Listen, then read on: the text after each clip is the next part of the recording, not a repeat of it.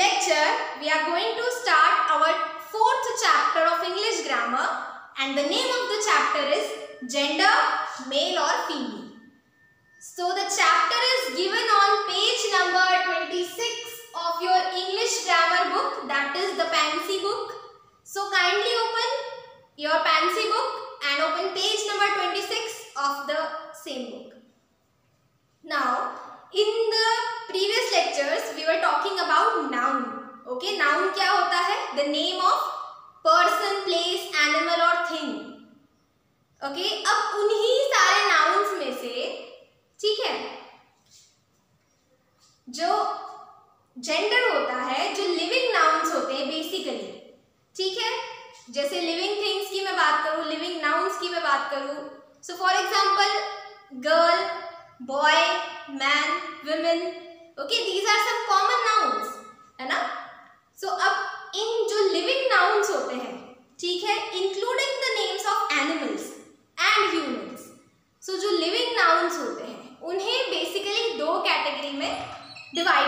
जाता है। And those two are based based upon the gender those two categories are इधर male और female okay so हर एक लिविंग नाउन और हर एक लिविंग बीइंग दो कैटेगरीज में क्लासिफाइड है।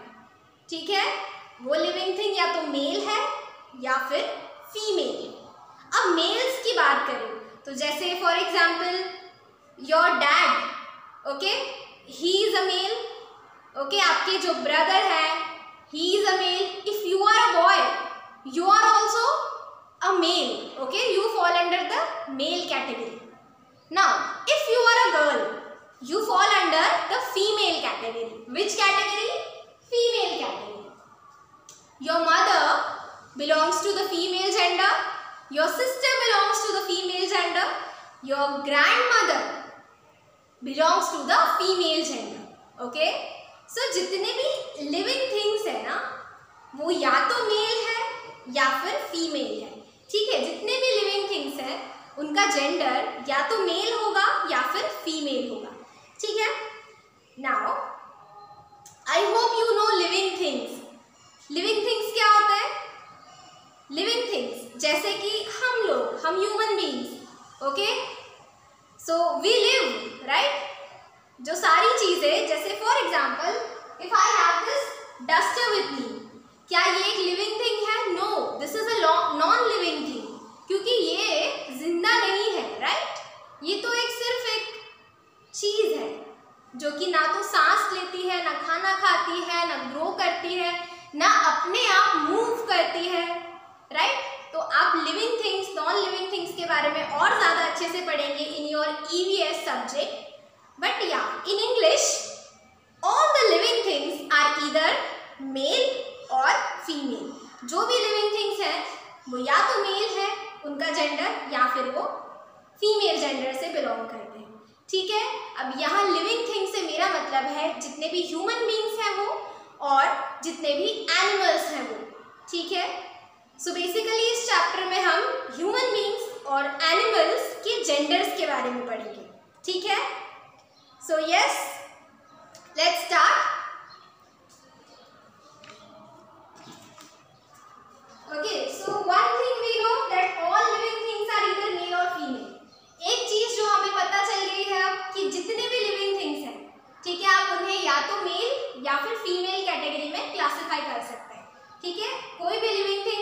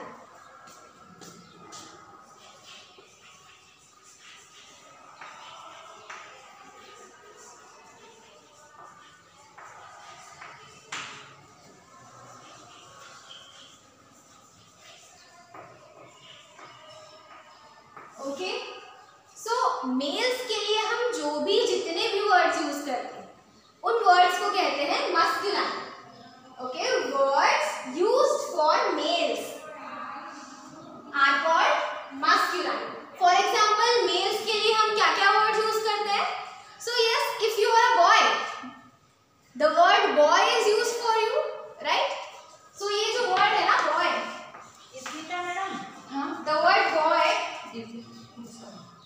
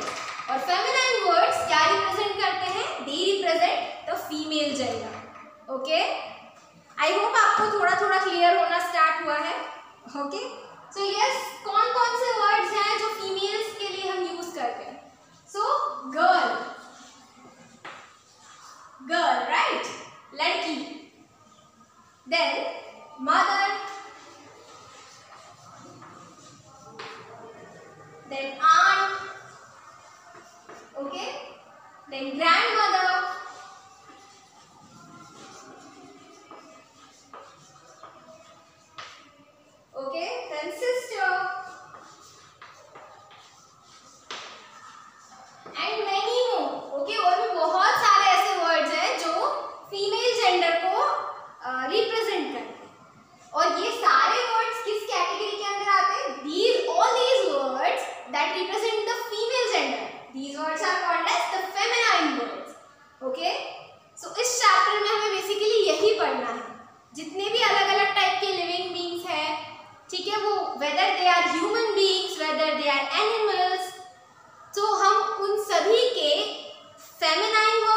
और मस्कुलाइन वर्ड्स हमें सभी के मस्कुलाइन एंड फेमिनाइन वर्ड्स को पढ़ना है इस चैप्टर में. Okay so let start with some masculine words and their feminine words okay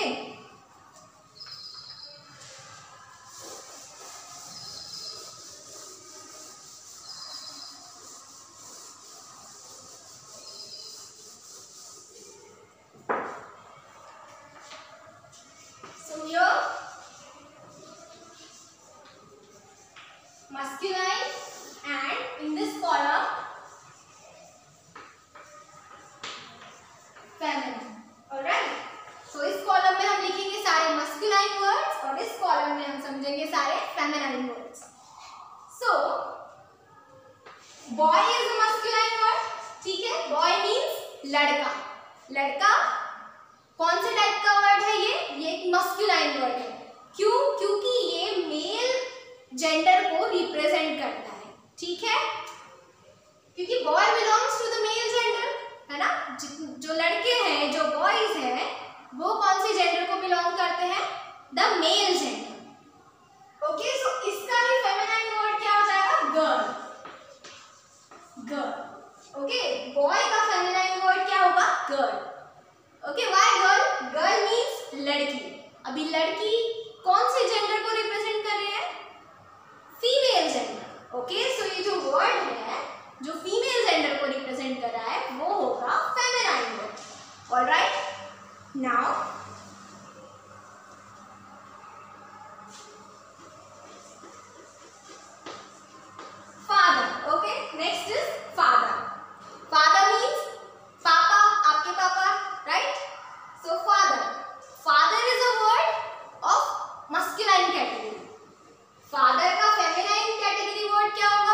mother. Okay? Papa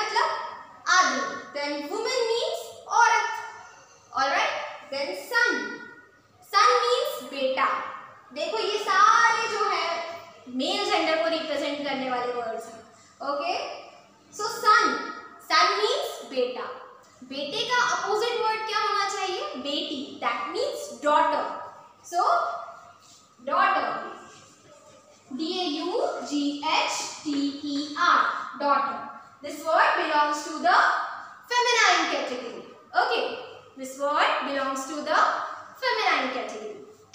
Then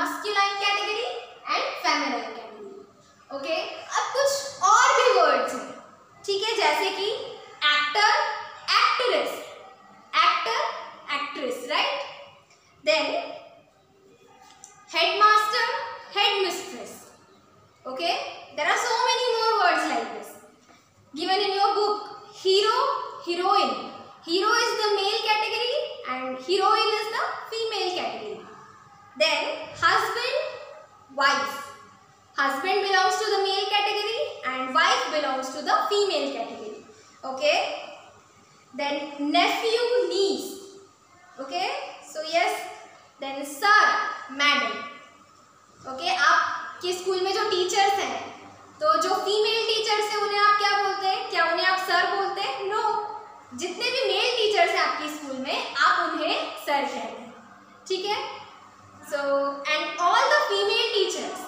आप उन्हें कहते हैं मैम या फिर मैडम ओके सो ये हुआ इस तरीके से जेंडर्स को क्लासिफाई किया है मेल और फीमेल और जितने भी वर्ड्स हैं, जो मेल जेंडर को रिप्रेजेंट करते हैं, वो होते हैं मस्कुलाइन वर्ड्स और जो वर्ड्स फीमेल जेंडर को रिप्रेजेंट करते हैं, वो होते हैं फेमिनाइन वर्ड्स ओके अब देखो, ये तो हमने बात की ह्यूमन बींग्स ठीक है so let's study the masculine and feminine words for some animals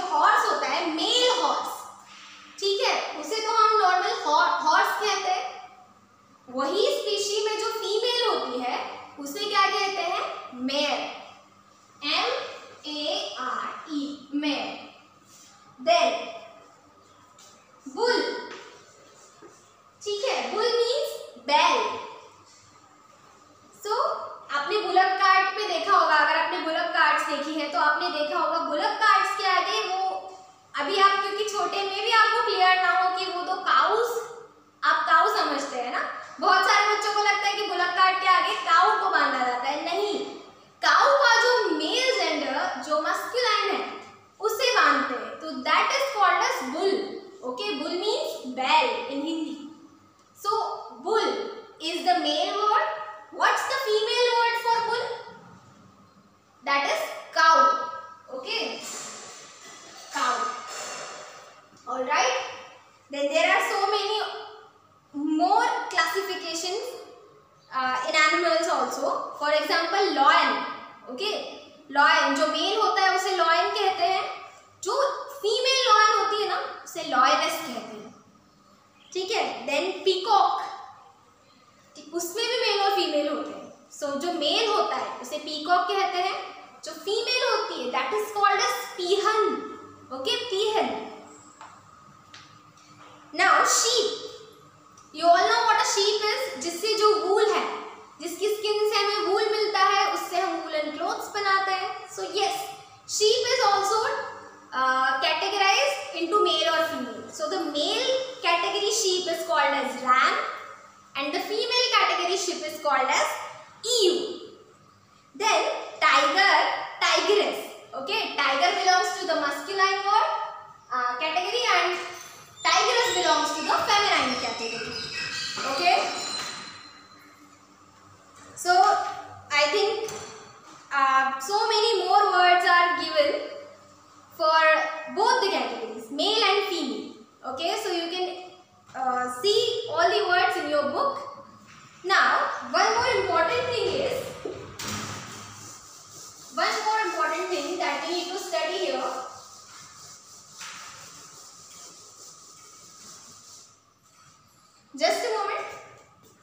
Do you know